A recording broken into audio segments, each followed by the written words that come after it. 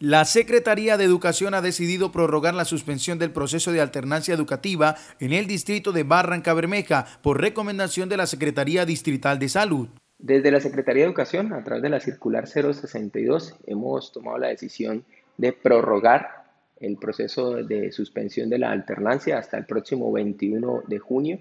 teniendo como base eh, la solicitud hecha por la Secretaría de Salud en donde eh, nos manifiestan que de acuerdo al comportamiento epidemiológico de la pandemia, eh, hay un aumento significativo de casos y eh, el porcentaje de camas UCI está por encima del 85%. Luego del anuncio, el secretario de Educación mencionó que las instituciones deben continuar con la planificación y fortalecimiento del retorno presencial a las escuelas y colegios de la ciudad. Es importante reiterar que esta suspensión de la alternancia no exime eh, a las instituciones educativas de avanzar en los procesos de planificación de los ejercicios de retorno gradual, progresivo y seguro a las aulas, del cual nosotros como Secretaría de Educación hemos venido en un proceso de acompañamiento. La situación se toma por la crítica situación que vive el distrito y el departamento como consecuencia del COVID-19 y a pesar de que se determinó la suspensión hasta el 21 de junio, la fecha puede variar en anticipación